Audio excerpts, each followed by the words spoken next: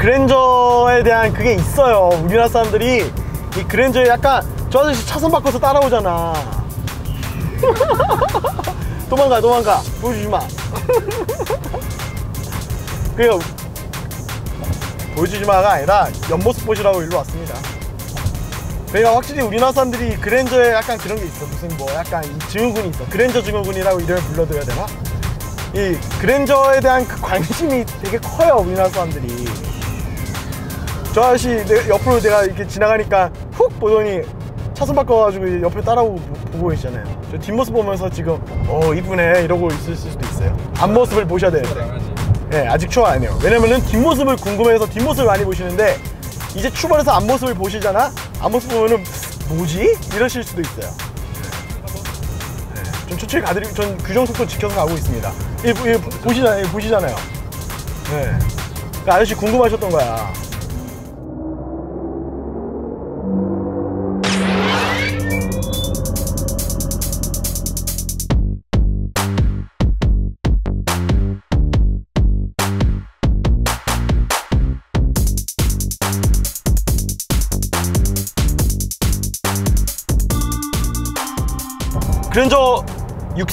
6세대의 facelift인 더뉴 그랜저 둘의 가장 큰 차이는 뭐 디자인적인 변화도 있지만 또 하나 빼놓을 수 없는 게 차의 덩치가 커졌다는 거죠. 6세대보다 전장뿐만 아니라 휠베이스도 확장을 하면서 더욱더 넓은 공간을 뽑아놨다고 하는데 우선 제가 지금 시승해서 가는 포지션 자체도 어, 상당히 만족스럽습니다.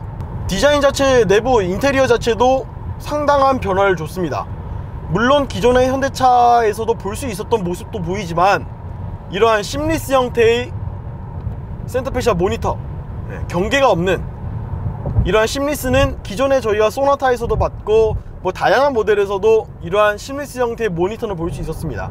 근데 더뉴 그랜저는 달라진 모습도 있죠.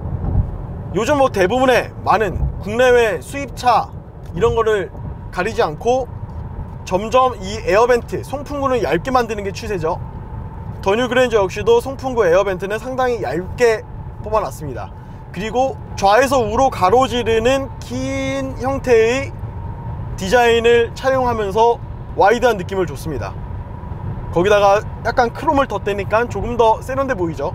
그리고 그 air vent 밑쪽에 위치한 각종 미디어라든지 뭐 비상등 이러한 컨트롤 장치 그 밑에는 공조 장치인데 이렇게 저는 딱 이 세트를 보고서 느낀 점이 어 넥소랑 비슷한 느낌을 주고 있다는 걸 좀 받아들였어요. 특히나 눈에 띄는 점은 이러한 공조 장치예요.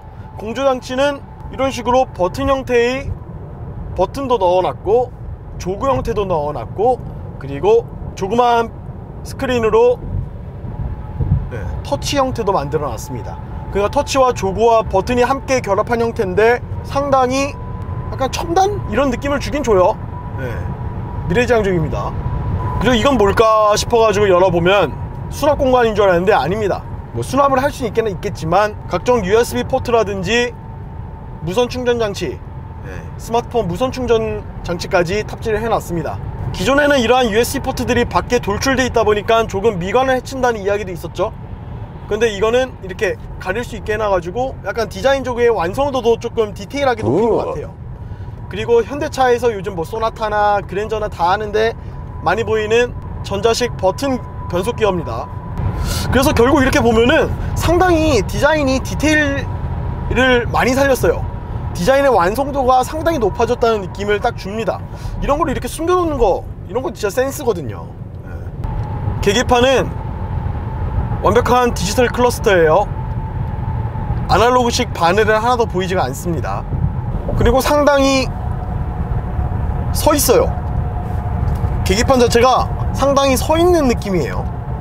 뭐 미관적으로 뭐 보기 힘들다거나 그런 거는 없습니다. 뭐 그 정도 좀 특징이 보이네요. 지금 뒤에 선배께서 뒤에서 이렇게 저의 운전을 하는 거를 관망을 하시면서 사장처럼 이렇게 앉아서 관망을 하시면서 야 이거 신기하다고 하신 게 바로 이겁니다 이거. 네. 신기하다고 하신 게 저희가 뭐 K9이나 소나타에서도 많이 봤던 깜빡이를 키면은 사이드미러에 장착된 카메라로 뒤에 차량의 주행 상태를 보여주는 이거를 예, 오 신기하다고 하셨죠 예. 사실 K9이나 소나타에서도 많이 이제 보이는 흔한 장치입니다 선배 현대기아차 안 타시죠? 그래서 모르시는 겁니다 이 ambient light라고 하는 이 무드등 지금은 저희가 파란색으로 설정이 되어 있는데 60가지 이상 교체가 가능합니다 좌에서 우로 크게 가로지르는 이게 이 air vent와 함께 결을 같이 하다 보니까 디자인적인 완성도도 상당히 높아 보이죠? 결국 이렇게 보면은 seamless 모니터부터 시작한 더뉴 그랜저의 약간 내부 인테리어의 변화가 얇은 air vent 그리고 터치와 터치 스크린 jog 버튼 이런 거를 적절하게 조화했고 뭐 이러한 약간 디자인적인 완성도 이런 것까지 보여주니까 내부 인테리어의 디자인은 상당한 수준의 완성도를 보여주고 있다는 게 조금 체감이 되네요 지금. 사이드 미러도 상당히 스포티해졌죠. 그러니까 사이드 미러를 보면은 중후하다는 느낌은 확실히 안 듭니다. 중후한 느낌보다는 스포티하고 조금 약간 역, 역동적인 느낌이 강하죠. 머리 받침대의 폭신폭신함이 너무 좋아요. 음, 음. 이 머리 받침대 폭신폭신함은 저희가 G90나 K9 이런 데서 좀 느꼈던 폭신폭신함이에요. 그래서 저는 이 시트의 착자감이 상당히 좋은데 사실 더 뉴그랜저는 2세대 스마트 자세 제어 시스템이 적용이 됐습니다. 그래가지고 운전자의 피로를 덜어주기 위해서 허리 받침대 부분이 내 방향으로 자동으로 움직이면서 척추의 피로를 줄여줘요. 느낌적인 느낌인지는 몰라도 뭐 그런 게 있다고 하니까 우선 뭐 시트의 착자감도 더 좋은 것 같아요. 이 머리 받침대의 폭신폭신함은 정말 개인적으로 선호하는 부분입니다. 이 내부 인테리어 색상은 바꿀 수가 있습니다. 지금 저희가 시승하고 있는 차는 gray로 되어 있지만 저는 gray보다는 무조건 베이지로 갈 것 같아요. 그러니까 완벽한 베이지는 아니에요. 조금 더 황토색에 가까운 색깔인데 저는 저걸로 같은 이유 갈 것 같은 이유가 뭐냐면은 저게 디자인적으로 더 좀 고급스러울 것 같은 느낌이라는 거죠. 어 저걸로 색깔을 바꾸면은 우선 지금 저희가 gray로 돼 있지만 만약 베이지로 하면 바뀌는 부분이 대시보드 그리고 도어 이런 문짝 그리고 글로브 박스 이러한 부분이 바뀌는데 지금은 애초에 이쪽 이쪽 자체는 회색이에요 근데 다 회색이다 보니까 뭔가 너무 색이 약간 단조로운 느낌은 있어 네. 그래가지고 약간 베이지나 황토로 하면은 투톤 컬러로 해가지고 더 고급스럽고 훨씬 더 따뜻한 느낌이 들 것 같아요 네. 핸들의 느낌은 그렇게 무겁 가볍지도 않고 무겁지도 않아요 네, 가볍지는 않아요. 네, 딱 적당한 수준인 것 같아요. 핸들의 주행 시 핸들의 느낌은. 이 차가 주는 승차감은 수준급입니다. 네. 우선은 악셀과 브레이크 페달의 응답성은 당연히 훌륭하죠. 악셀은 저희가 발만 살짝 대도 가속이 바로바로 될 정도로 뛰어난 응답성과 부드러운 주행감을 함께 주고 있어요. 브레이크는 좀 강하게 잡아주는 편입니다 제동을 할 때 브레이크의 느낌은 상당히 강하게 빨리 잡아주는 느낌이 커요. 그리고 더 뉴그랜저는 안전 사양도 기본화한 게 참 많습니다. 뭐 물론 요즘 현대차가 배뉴에서부터 시작해서 상당히 많은 부분을 안전 사양을 기본화하고 있죠. 그거를 말씀을 드리면은 더 뉴 그랜저에는 우선 전방 차량 추돌 방지 보조 차선 이탈 방지 보조 뭐 운전자 주의 경고 그리고 전방 차량 출발 알림 high beam 보조 이렇게 해가지고 총 6가지 안전사양이 기본으로 들어갔습니다. 네 그리고 또 눈에 띄는 안전사양이 하나 있습니다. 전방 차량 충돌 방지 보조를 조금 더 개선하고 업그레이드 한 건데 이름은 교차, 교차로 대항차입니다. 네. 뭐냐면은 저희가 교차로에서 좌회전해서 들어갈 때가 있잖아요.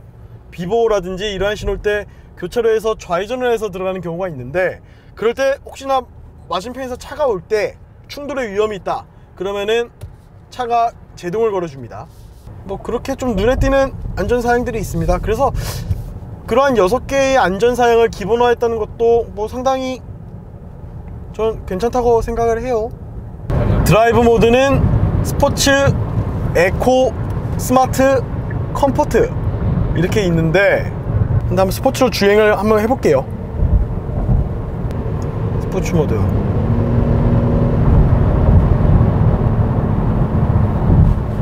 네, 가속도 훌륭합니다.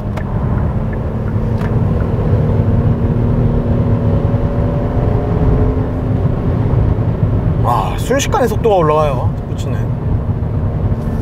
다시 예, comfort로 돌아가서 주행을 해보도록 할게요. 스포츠 모드에서는 어, 그 드라이브 별로 구간 드라이브 모드마다 약간 차이가 별로 안 느껴지는 차들이 있잖아요. 근데 그랜저 더뉴 그랜저는 그 차이가 조금 명확하네요. 예. 우선 이 그랜저의 디자인 변화를 두고서는 참 평가들이 엇갈립니다. 소비자들의 평가가 엇갈려요. 왜 저렇게 만들었냐는부터 참 잘 만들었다. 미래지향적이다. 잘 만들었다고 하시는 분들도 있고요. 근데 그거는 이제 개인적인 호불호니까 그걸 떠나서 확실히 그랜저가 젊어진 느낌은 있습니다. 이 주행할 때 응답성이라든지 이 브레이크의 안정감이라든지 그리고 변속 구간에서의 이질감이 더딘 부분 이런 것을 종합적으로 봤을 때 그랜저의 주행은 정말로 수준급입니다 수준급. Good. 그래서 오늘 더뉴 그랜저는 디자인이나 각종 사양에서는 오빠차의 모습을 보여줬지만 주행에서만큼은 여전히 저희가 아는 아빠차. 아싸맨이 만난 더뉴, 더뉴 그랜저의 시승기는 여기까지 하고요 다음번에는 더 재밌는 차로 이곳 외곽순환 고속도로에서 또 좋아요. 구독하기